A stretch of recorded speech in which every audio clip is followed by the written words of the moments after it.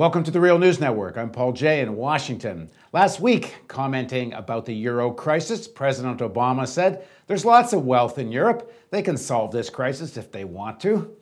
Well, certainly that could also apply to the United States. And a new study by the PERI Institute looks at one of the places the money is. And that's in big banks and big corporations who have been able to borrow from the Fed at practically 0% interest. Big banks are sitting on about $1.6 trillion, big corporations, something in the range of $2 trillion. And the PERI Institute report analyzed if you allow uh, reserves for the banks and you look at short term liabilities of the corporations, they could still put into the productive economy an investment somewhere in the range of about $1.4 trillion.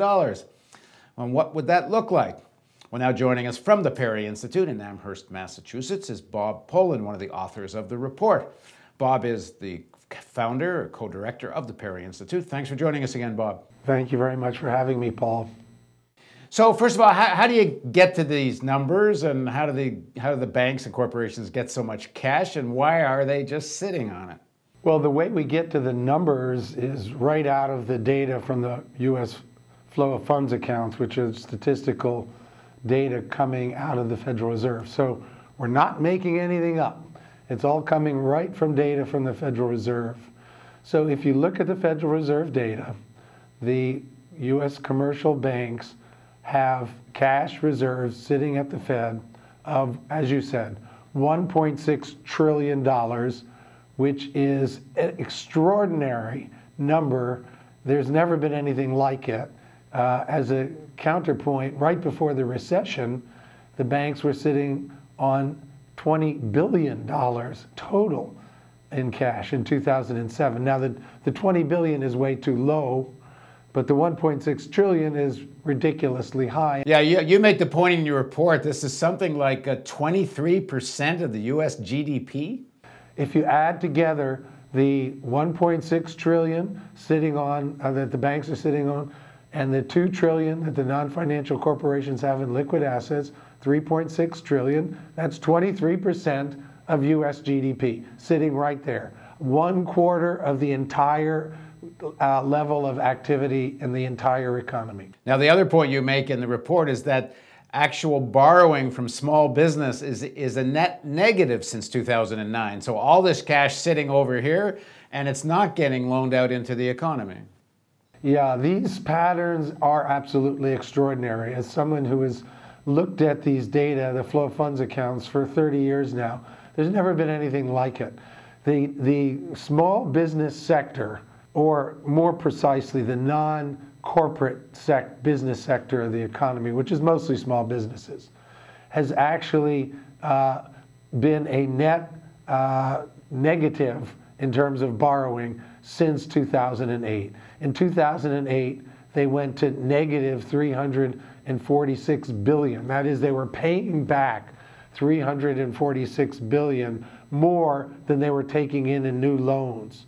Now, how can an economy recover when the businesses are just paying back loans and don't have any money to spend on hiring people or investing in equipment? So that was 2009. As of this past year, 2011, they're still, the small business sector as a whole is still at net negative. So that's where the bottleneck is in the economy. We've got 1.6 trillion that the banks are sitting on that they got for free, and we have businesses, small businesses, net negative in terms of borrowing to expand their operations. Now, what one of the things when we say sitting on, it's not actually quite accurate sitting on because as we've talked about in some of our previous interviews, the banks are using some of this money in what they're calling the carry trade and loaning it into places like Brazil where they're getting an interest spread. But in your report, you talk about something else is that the corporations sitting on some of this 0% money are actually using it for share buyback schemes and such instead of investing in, in new production. Talk a bit about that. Okay, so the, the non-financial corporations are holding 2 trillion in liquid assets. And what we did throughout this study is we tried to work with extremely conservative assumptions as to what's a reasonable number as to how much they should actually be holding. And not just jump up and down about 2 trillion without analyzing that number, 2 trillion. So we looked at their liabilities, how much the corporations owe, and short term liabilities in particular, how much they're going to owe, oh, have to pay back over the next year. And it turns out that uh, the, if we look at the ratio of this total amount of cash to liabilities, the cash is only about 55% of total liabilities. So they actually have more in liabilities than they have in cash. So we take account of all of that and we look at the ratio of liquid assets of the corporations relative to liabilities as that is held uh, in previous years. And we said that of that total 2 trillion, about 400 billion we can very conservatively argue is excess, is way more than they need to meet their needs in terms of their debt. So 400 billion in the, with the uh, financial, non-financial corporations is, is money just sitting there that they should be using for investment. The reason the banks are not loaning more, the reason companies are not uh, investing more and more productive capacity and more employment you point out is that the underlying issue here is lack of demand. So, I mean, it's not like these guys wouldn't prefer to expand. Uh, it's that they, they don't see a, a, profitable place to do it. So, demand is certainly one issue. I don't think it's the only issue. I think it's also fair to say that there is a credit lockout for small businesses. So, I would say it's, a, it's that combination of two things. But the first is certainly demand because banks, corporations, look, they're in business to make money. If they thought that they could make money by spending this cash that they're sitting on on hiring people, expanding operations, then we have to assume they would do so. So they ha- they have reached the conclusion that it's not worth their while to put the money into job creation and investments. So how do you fix that? You have to raise the level of demand in the economy. That's the first fix. All right, that means higher wages. More jobs and higher wages. It means more jobs and more higher wages. And by the way, we do, when, when we calculate the job creation uh, of putting 1.4 uh, into the economy, we assume that wages are going up. So what we say in the study that you're going to get 19 million new jobs. You can get 19 million new jobs over three years by putting the money for 1.4 trillion, that we are also taking account of workers getting wage increases, 3% wage increases a year. So that is, we are building wage increases into the economy. They, these are things that should happen. They might not happen. So talk about what you would do with 1.4 trillion. How does, how does this actually operate? Like if they don't want to loan it, then you're suggesting the government needs to play a role here. What is that role and how does this happen? Well, the government's role, first of all, back to your previous point, is to stimulate demand in the economy. That means we need, we definitely do need another stimulus.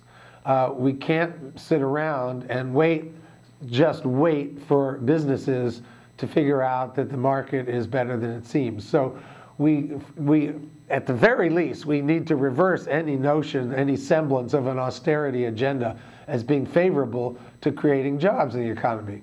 So, number one, yes, we need to defend spending at the state and local level, and we need the government to support that. And that will be the driver of job creation. And then, number two, we need the banks to start lending money to small businesses. Small businesses are getting turned down at a rate of about 60% for loans. And that is not going to help us get the small businesses back on their feet. So, okay, how do we do that? So, yes, we need to stimulate demand, and then we need to impose a tax on banks who uh, are sitting on this money because it's just too cushy for them to hold this money that they get at a zero interest rate. So, we need to, uh, first of all, stop paying the banks. The banks are getting paid one quarter of 1% to just sit on money that they got for free. So why shouldn't they just keep sitting on it? So uh, you need to start taxing the what we call the excess reserves of the banks, and keep taxing them until we start to see the banks getting movement and starting to find uh, investment opportunities. So you looked at the effect of this. So if the 1.4 trillion does get into the productive economy, what does that mean in terms of employment? What's the effect of this? 1.4 trillion would create 19 million jobs over three years. We just assume it will take three years to get that level amount of money into the economy, and it will raise total employment from its current level at about 140 million to almost 160 million, 159 million. In terms of the unemployment rate, just this moving this money into the economy itself will drive unemployment down below 5%. So, back to your quote from Obama, the situation in the United States is this we can solve the jobs crisis with the money that is just sitting there doing nothing, either with banks or with the non financial corporations. The other objection uh, is likely to come is this will be inflationary, all, this, all these new jobs and higher wages that result from this. Uh, so what, what does the inflation picture look like? Well, we could use a little inflation, and a little inflation that is generated by the economy growing, by there being more demand in the economy, by workers getting higher wages. That's good. That's good. That is not uh, a malignant form of inflation by any means. And in the study itself, we, we allow for that. We assume inflation is going to go up on average by 3% a year. So, uh, you know, inflation driven by uh, a growing economy is a byproduct of something good growing economy with more job creation. So uh, I don't see that as bad. As long as wages don't fall behind inflation. Yes, we are assuming, and of course I don't know if this is going to happen, we're assuming, as often happens, when workers start to get hired back into jobs, and we're creating, you know, almost 20 million new jobs, we're assuming that workers' bargaining power is going to go up. And we did factor that in. So we said, even allowing for higher wages and allowing for inflation, real wages going up faster than inflation, we still get 19 million jobs. And then also, we are increasing the well being of workers. We're increasing uh, the demand capacity of the economy because we're putting money in workers' pockets. That's all. That is the engine of recovery that we need right now. And how much of this can be done without uh, without Congress passing new legislation, if any? Because it doesn't seem like you can pass anything in Congress. Well, the first steps can be taken immediately. The first steps being uh, certainly on the credit side. Uh, that is to expand the loan guarantee program, at least improve the terms make it really, really easy for banks to start thinking about lending to small businesses. The Fed itself can eliminate the 0.25 interest that they're paying to uh, the banks right now to just sit on money. Those things can be done tomorrow. Uh, the excess reserve tax, it's possible if you call it a negative interest uh, regime by the Fed, it's possible that the, uh, that the Fed could do that without an act of Congress. Maybe, I'm not sure. Certainly, uh, to have a demand stimulus to accompany this, that has to come uh, from Congress. But if we, if we, if you frame it in a way that's saying, look, what we're trying to do is get money into the hands of small businesses so they can hire workers, why would traditional Republicans be against that? They say they're always for small businesses.